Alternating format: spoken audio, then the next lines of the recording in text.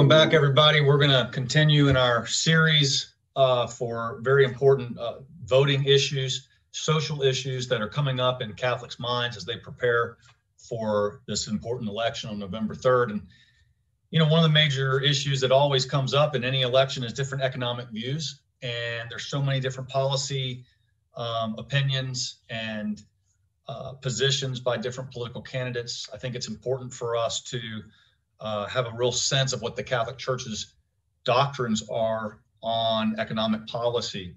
So, um, uh, Father Kirby is here guiding us. Father, great to see you again. Thanks for being here. Thanks, Connor. Good to be on the show. All right. So, um, the economy, you know, a lot of people say, and a lot of my conservative friends kind of think that the church needs to stay the heck out of economics, politics, but especially economics. You know, what the what in the world could the church have to offer about the stock market or about running a business?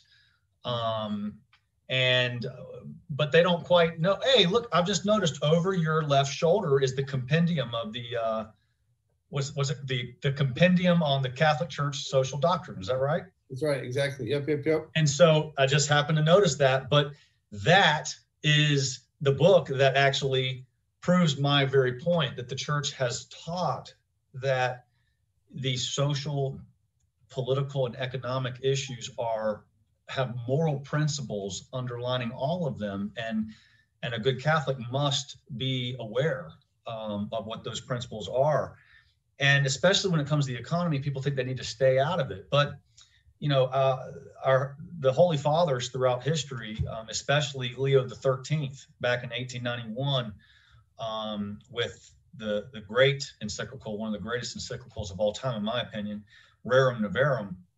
You know, he he saw economic theory as barreling down on the world. On the one hand, he saw communism arising. He saw the dangers of communism, or to a lesser extent, socialism. Um, and he saw the the restriction and taking away of private property. He saw Marxism on the rise that was atheistic at its very at the heart of it. But on the other hand, he saw the booming of the English um, industrial revolution. And there was no child labor laws. There was no minimum wage. There was no uh, even a sense of a living wage required. There was there was no regulations, health regulations, safety regulations. People were being mauled by uh, the mills. People were working um, in unhealthy and unsafe uh, conditions. So he saw this, uh, and he saw it as the extreme on the other side of the political or economic spectrum from communism. And so um, he guided the church, Leo the 13th guided the church through these two extremes yes. in this great encyclical Rerum Novarum. So I kind of preface our conversation with that because as I understand it, a lot of the stuff in that compendium of the social doctrine behind your shoulder and the rest of our conversation, a lot of it's guided by Rerum Novarum that Leo the Thirteenth put into place. Um, Centesimus Annus, written by uh, John Paul II, uh, Saint John Paul II, uh, is the hundredth anniversary. Centesimus, the hundredth anniversary of Rerum Novarum. So there has just been so much great work in the church done on these issues that I hate it, especially when I expect liberals to ignore the church. Mm-hmm. But when I hear conservatives do that um, and think that the church needs to stay out of these kinds of matters, it's it's distressing to me because I, I see they don't understand this falls under the moral theological teachings of the Catholic Church. Not that the church is here to tell us exactly what our tax code should say, right. but they provide us principles.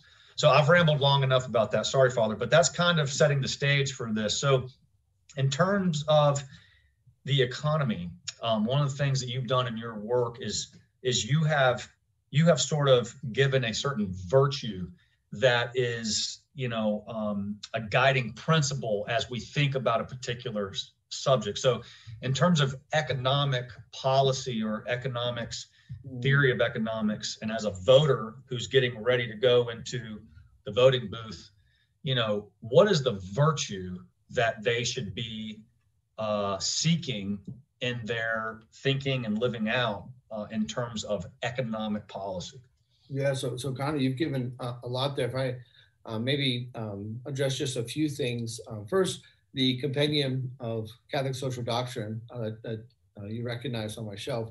Uh, I want to point out to our listeners that um, Father Enrique Colom, who was one of the major writers of that, was actually one of my professors. Awesome. I studied under him, and in fact, I remember having a tutorial with him on the writings of Father uh, Pinckaers, one of the great moral theologians. So I studied with Father Colom, who helped write the social doctrine, as we studied Father Pinckaers. So I just and, and Pinckaers, we both.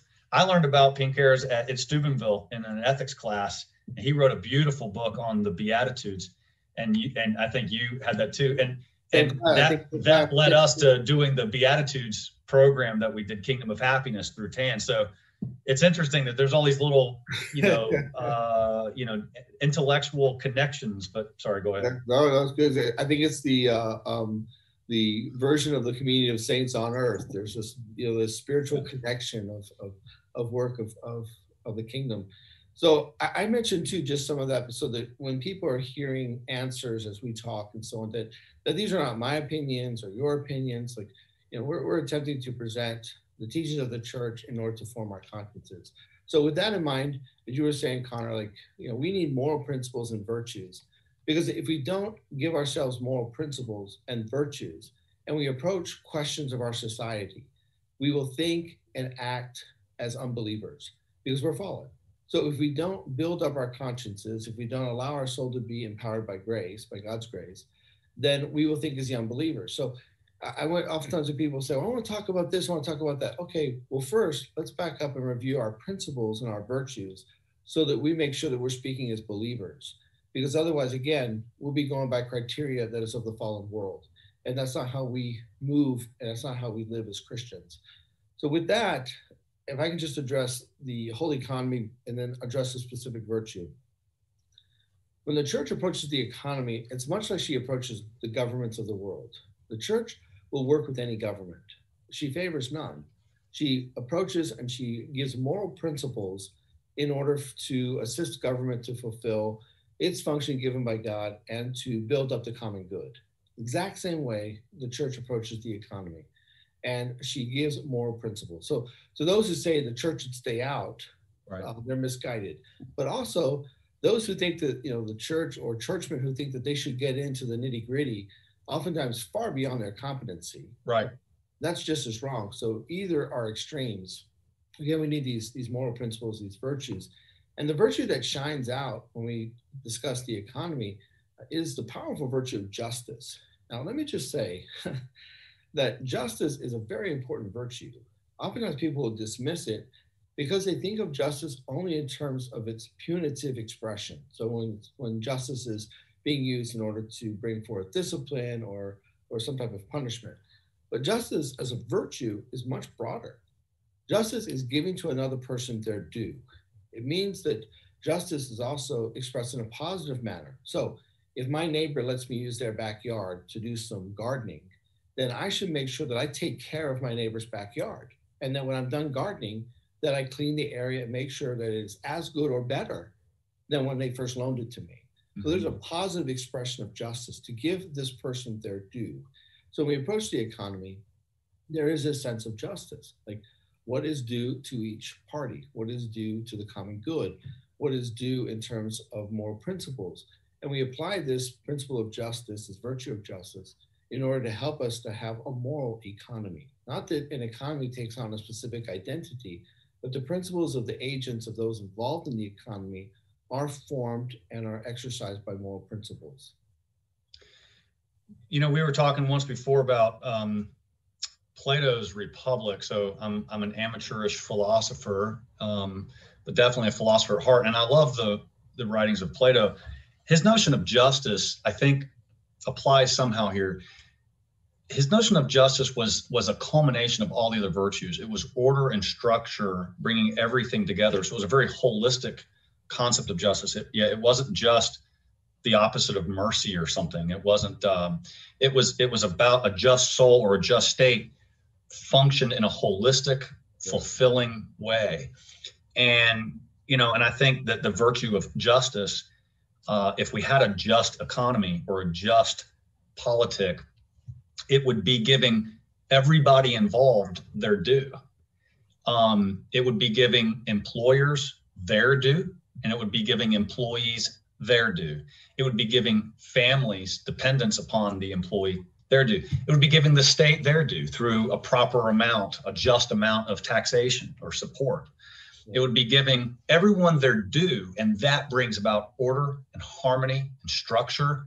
And I think that sort of relates to Plato's understanding of justice as being the summation of all these other virtues in society, because it created a just society, which which entails all these other positive attributes. So I can see how, you know, an, an economy or a, a state, a country that has a ruined economy, it, it's not going to function right. Right. So justice is kind of that governing virtue, and it, it has to mean a lot more than just putting the bad guy in prison. When you have a just economy, it takes care of it, it creates so much more order and structure throughout the entire body politic. Um, so I, I think Plato had a point there, and I can kind of see, uh, you know, a relation to that. Um, now, a next the next question uh, I'd like you to try to address a little bit is is the is the notion of private ownership. Now, um, the early Christians um, lived in a certain kind of uh, almost monastic like community in the sense where they had maybe monastic's not the right word, but they shared common property. Mm-hmm. That was kind of a Christian ideal they were striving for. Uh, I guess it didn't work because it didn't last that long.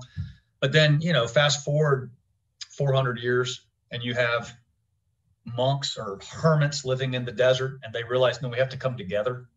Um, and so they form monastic communities. You have the rule of St. Benedict.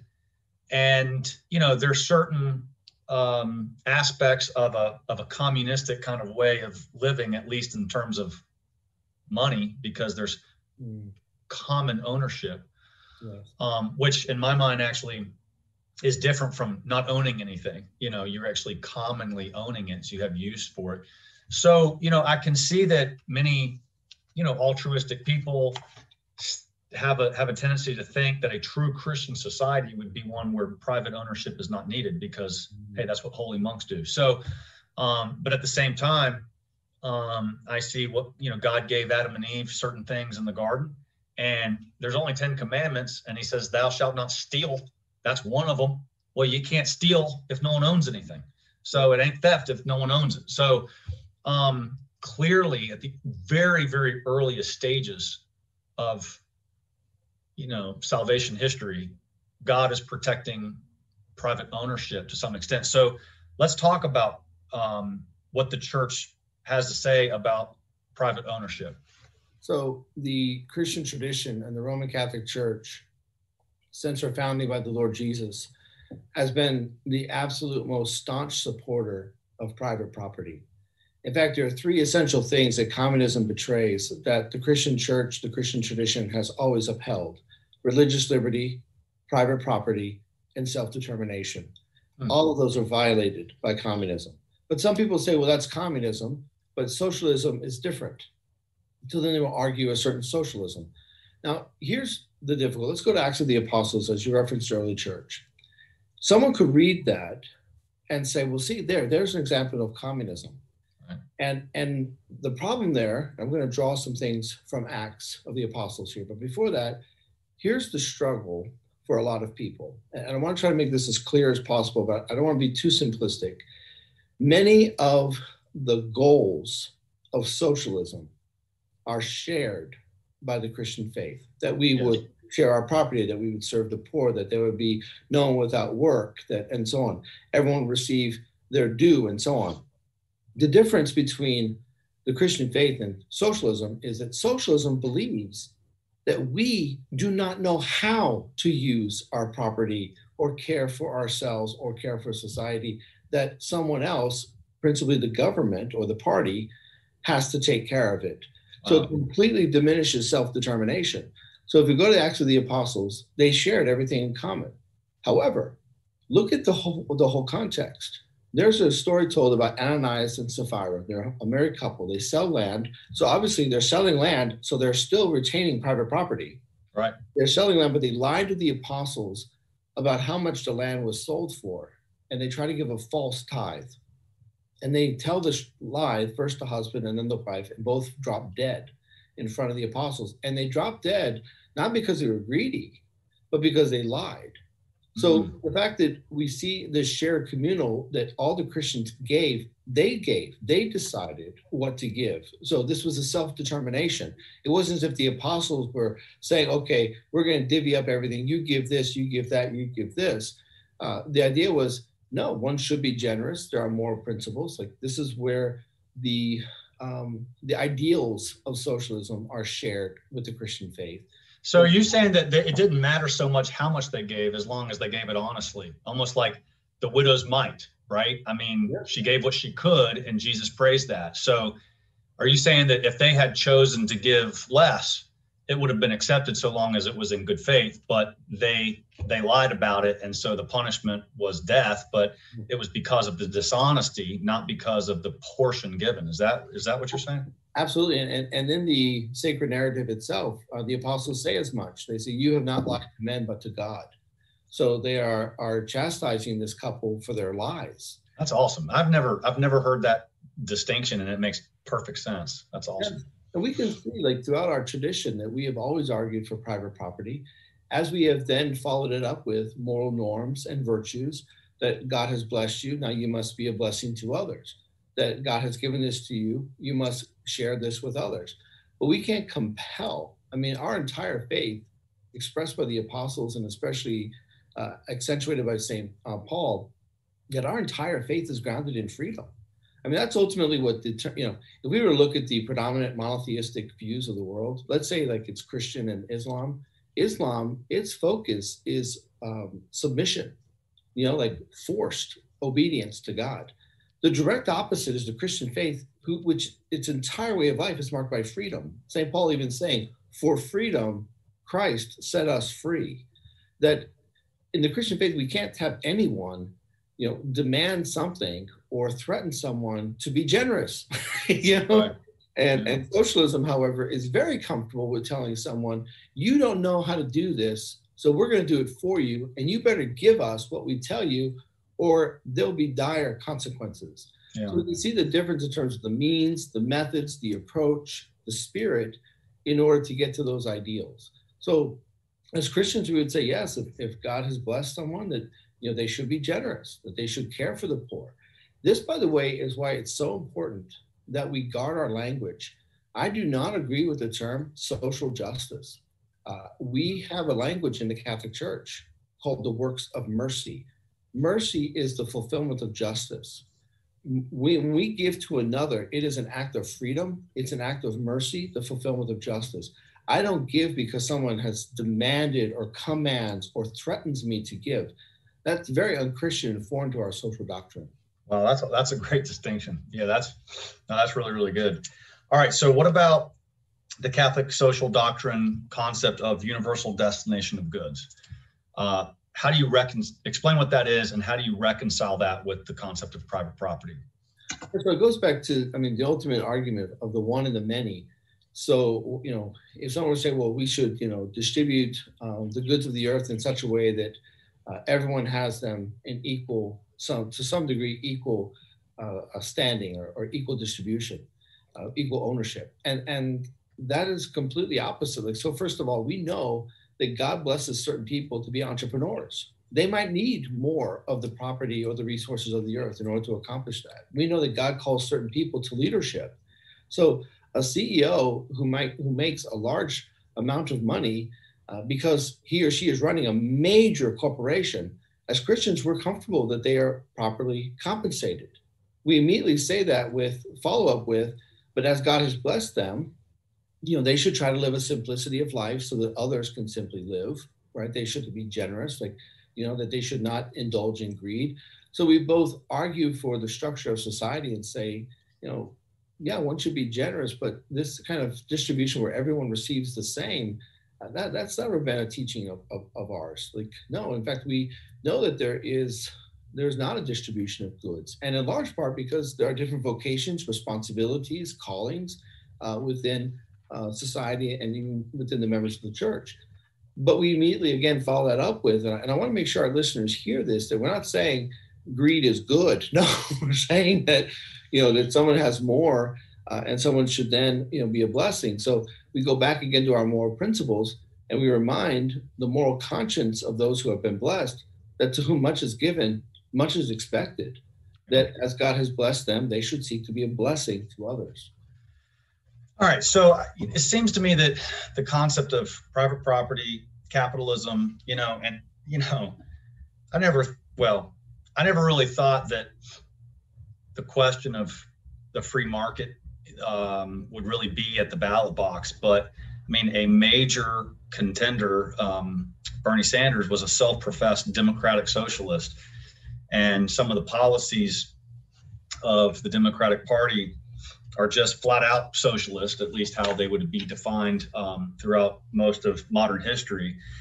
So, you know, we're we're we're becoming we're we're we're flirting with socialism in this country uh, in a way that our parents or grandparents generation would never have guessed you know because they saw especially our grandparents they saw what happens in a communistic world and our, par- our parents too i mean they remember so vividly the Soviet Union. You know, we were young, we remember it, you know, but they they lived the majority of their young adult life with this with this issue of communism. Mm. But the youngest, you know, the young adults now, um, and I was going to look up the exact stats before the show, but the it's a staggering amount. It's the majority of young adults, college students, who say in surveys that they wish they lived in a socialistic society. And I don't understand how that could possibly be unless they just don't understand what they're even saying. Right. Um, so that's that's kind of one thing. Uh, well, let's talk about that. I mean, how would you respond to a 22 year old person graduating from a secular university who answered on a survey, "I wish I lived in a socialistic society"? So I, am first of all, I'm, I'm very grateful for the opportunity to answer that question um, because, as you said, this is um, very predominant in our culture, our society, and in our political discourse right now. I, I would say this, and, and sometimes we can forget this, and, and it's worth just kind of like lifting the veil and reminding people that one of the most predominant socialistic institutions right now in our country is public education. Mm. So the fact that we as Americans are very comfortable with the government educating children and we know that of itself, that's in, in principle, we would still debate that, but there could be a solid grounding, you know, if the education was truly education. But we know that education now is predominantly social engineering. So they are, are twisting and turning the minds of young people, whether it's towards uh, the LGBTQ, whether it's the redefinition of family, whether it's the diminishing of parental rights, and the list goes on. So, so the fact that you would have a young person who would go through 13 years yeah. in the most formative time of their life in a socialistic institution, and then go on to a, a public university whose faculties are predominantly socialistic, and then come out at 22 with massive debt, yeah. no job, and have been really the beneficiary of socialism of course they would be socialist. Yeah. you know? It's like the plan worked, you know. Right. Um, the apple doesn't fall far from the tree, right? And, and so, in many they don't know the opposite. Here, here's what I find so damaging to bad education. Bad education creates insecure adults because when you are properly educated, you are competent. The, the idea of a liberal education was that we were freed from ignorance. Yeah. You can take someone who's liberally educated, give them almost anything, and say, figure it out. And they have the confidence and the creativity to tackle it. Give to most 22 year olds a task that they're not familiar with and say, figure it out, and they crumble yeah. Even though they have more technology now, it's like look it up on YouTube. The video will literally show you how show to you. do it. You know what I mean? You know, and and yet this is what we have when we uh, surrender our education to socialism. When the universities become socialistic, and young people don't understand the real freedom and the power of self-determination, that they can stand on their own two feet by the, both the grace of God and the talents given to them, and they can do something they can make money. They can create talent. They can provide services. That is a power given to us. John Paul II said that we are co creators with God. And for young people, especially who are the most idealistic, the most creative, who have Mhm. energy, that is a great loss for any society and a tremendous loss for our country. Yeah, and they the, the new generation expects the government to take care of these things. And you know, last night, sitting around the dinner table.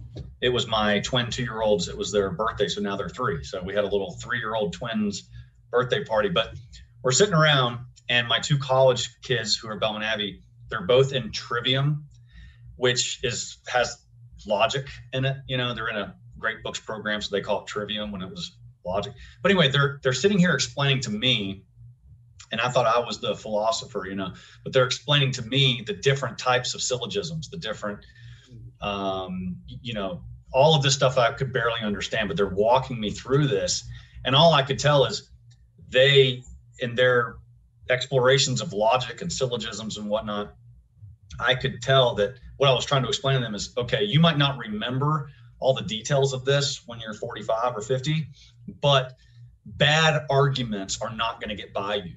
Bad rationale, um, bad uh, explanations, whether you're at work or whether it's somewhere else, it's not going to get by you. Your your mind is being trained in a true liberal arts way to draw these distinctions and to see truth and falsity uh, for what it is. And so, um, you know, but the modern education doesn't touch that with a 10 foot pole. And so we've, we've lost the ability to critically think, like you were saying, young people, they're not able to figure things out. In fact, there was a little um, email exchange going on around between a bunch of dads um, the other day. And it was, Hey, what's the three most important things for a father to say to your kids, you know, and there was a number of different things. And I, I wanted to add to it the phrase, go figure it out yourself. because, you know, and I, with 14 kids, father, I have to say that all the time. And so, but it's making them a little bit more self determining, you know? Um, and that's something that the youngest generation's missing out. All right, let's let's get um let's talk about capitalism a little bit more because it has a bad rap in the church encyclicals throughout history, including Rerum Novarum, um, the term capitalism is is used uh, repeatedly in Catholic social doctrine as as a problematic economic theory. You have socialism or communism on one side, and then you have capitalism on the other. Now, my understanding, and correct me if I'm wrong, my understanding is that at the time that we're talking early late 1800s early 1900s um, the term capitalism really did refer to a completely unregulated yep. economic system yep. well that's not what we have right now in fact you know we have more regulations and red tape in in the free marketplace than you know ever before yep. and it's a very hot political debate of how many of those should be taken down but the word that we now use for a completely unregulated uh, economic system is uh, libertarianism. So that's the word we use. So this is a semantics kind of thing that's changed over time. Um, and I, I, wish we didn't always use the term capitalism today mm-hmm. um, because historically that word meant something else, you know. Um, in fact, it uh, Karl Marx was one of the first to use it um, in talking about they who control the capital, bankers, private investors, they're in control as opposed to the labor workers, them having a certain dignity. So the word even has a, a bizarre, um, you know, uh, genesis in Karl Marx of all people. Um, so, you know, it, it, in my opinion, it's not correct nowadays to say the church is against capitalism um, because semantically the term has changed. Exactly. Is it? It's more correct to say the church is against an unregulated marketplace yes. because they believe that the that the state uh, has a certain duty to the common good, and if it's totally unregulated, then the the worker, the laborer, can get trampled um, by the greed of others. Um, I think that in the current day, and it might be different in 20 years because words change, that libertarianism is probably the closest word to that. Um, I'm not asking you to have an opinion on the word libertarianism, but am I getting the concept right? And is it okay for a Catholic nowadays in 2020 to say, I'm a capitalist? Yeah, so so th- there's a lot there. I would say, first of all, uh, as you described, uh, we, we get this the, the, the word or the, or the emphasis in the word from from Karl Marx. Uh, meanwhile, on the other side, uh, Adam Smith, who wrote The Wealth of Nations, kind of the initial uh, summary or textbook of, of a different capitalism, uh, we say the, the, the good capitalism, uh, you know, he's writing as a, as a, a professor of ethics. Wealth of Nations is actually a quote from Isaiah, the prophet from the Old Testament. Huh. And he's writing The Wealth of Nations to try to describe both how can we have this self-determination, but also serve the common good. So even in, in its beginnings, you know, this type of healthy capitalism understands the responsibility to the common good. Now, this continues to develop. And, and just so our listeners know that this isn't, you know, Father Kirby and Connor coming up with this, this is actually described in. I think we should come up with some stuff, though, Father. and I think right, right, let's right. do it. Exactly. Why not? But this this summary that, that you've given, Connor, is actually provided by Pope St. John Paul II in Centesimus Annus, where he yeah. describes, we could say, a bad capitalism and the good capitalism. So. Right. Almost as Augustinian, the city of man and the city of God. Right. And John Paul II goes to great lengths to show that there's a good capitalism that can exist within the free market, and the free market is distinct from capitalism, you know, but capitalism is a very effective means for the free market to operate. In fact, we know statistically that the greatest cure to world hunger is actually good capitalism. Right. It has done more to eradicate hunger in the world than any other system economic theory uh, before. So there's a good capitalism. We have to, of course, clarify that and understand that but it has its place.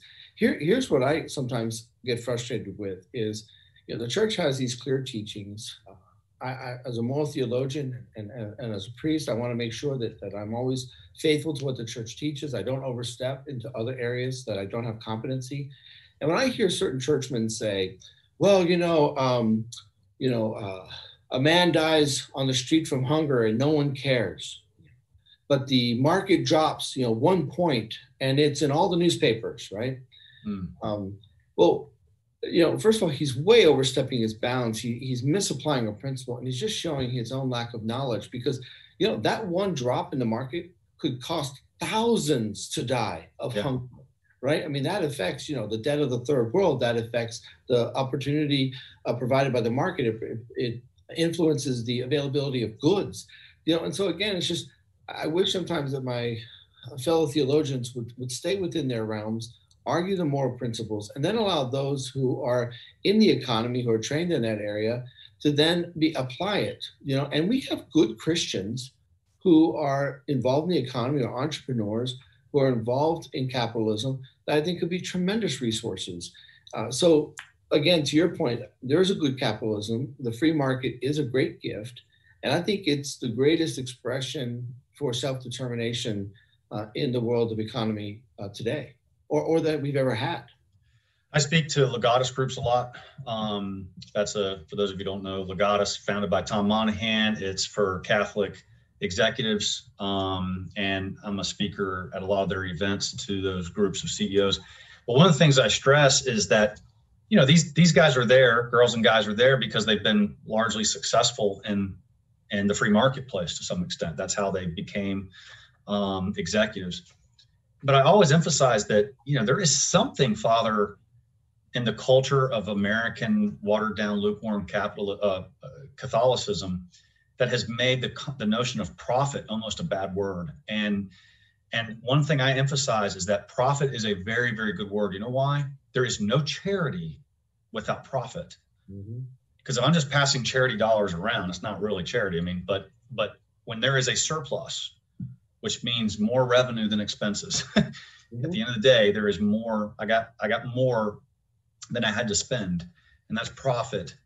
Um, then I can actually be charitable. But before then, there there you know there is no charity. So um, profit, you know, is a is a good word.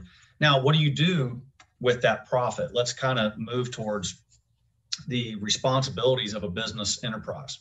Um, rare, going back to Rerum Novarum, he talks a lot about a living wage. He talks a lot about the obligations of a corporation. Let's forget the state for a second, but a corporation, how they take care you know, of their employees.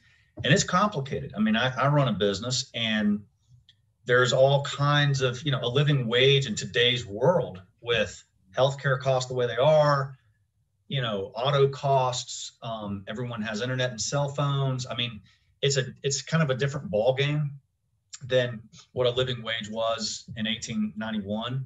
Um, it's a it's a different world, um, and so and it's not just a matter of inflation. You know, there's just we have these costs that were not even imaginable back then that really aren't necessary to stay alive, like internet. But yes you have to have the internet now. You know, you, everyone has to have a cell phone. I mean, it's so the world is structured differently. So it's really hard to figure out what a living wage is in a certain town in a certain time period. Um, is it a second household income? Is it okay for me to pay somebody as it is a second household income? Or do I have to pay every single person in the business as if they could take care of a spouse and three children? You know, um, most businesses cannot afford to do that because our economy is structured in a, in a different way. So, you know, what would you have to say though, just as guidance for uh, employers, uh, business owners in terms of responsibilities that they have according to Catholic social doctrine to uh, their their workforce um, or to the economy, you know, at large?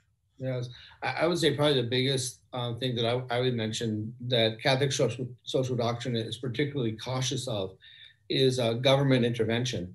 Then we speak about living wages or you know, uh, you know the, the, common wage or, or so on, like um, you know the, the, church does not favor um, government being involved in this. Oftentimes, the government comes from a different perspective. It, it doesn't know the pulse.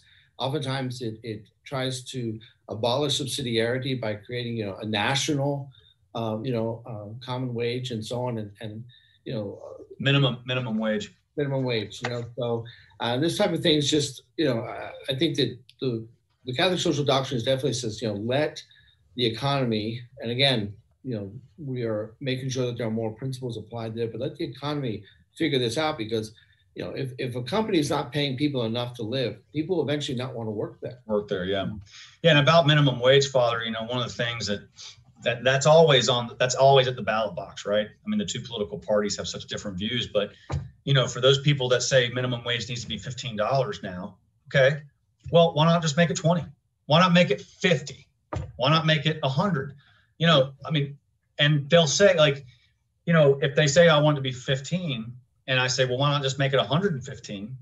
Then it kind of strikes them like, oh yeah, well maybe you can't do that. Well, why not? Mm-hmm. Yeah. Why not? Because there's a ripple effect to this. Right? It's yeah. gonna, you yeah. know, your your the gallon of milk is gonna cost twenty seven dollars next week if you do that. You know, which by the way, has been my underlying concern about too much stimulus money, COVID stimulus money going into the economy, is that eventually, if everybody has more money, hyperinflation can occur. Um, but nonetheless, uh, you know, when the government gets involved in this, it actually tends to work out pretty poorly most most of the time. Yeah. Um, so yeah, I mean, I, so I just I just like that point of, you know, there's certain moral obligations on me at, uh, as a as a somebody who runs a company who has employees, but that's quite a different thing than saying that uh, the Senate or the Congress get to tell me exactly what all of those things are. That's right. Yep. No, that's really good stuff. All right. Well, in in closing, you know, what do you say to the voter who, um, you know, who has a, a charitable heart? You know, they they think the poor should be taken care of. Um, they they look at they and they see big business, which has a lot of evils in it, which is true. I got you know for another time, but you know the two-headed monster of big government and big business. That's another whole conversation.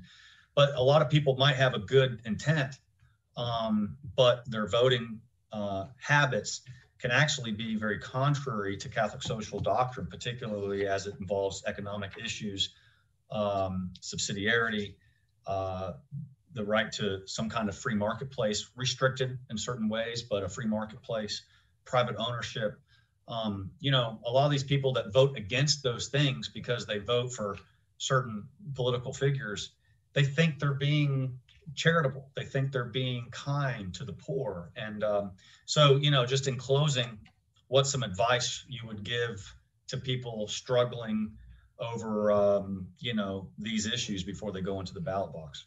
I want to just say clearly, with, without any uh, confusion and with no equivocation, that Catholic social doctrine is absolutely, totally, unconditionally opposed to any form of socialism.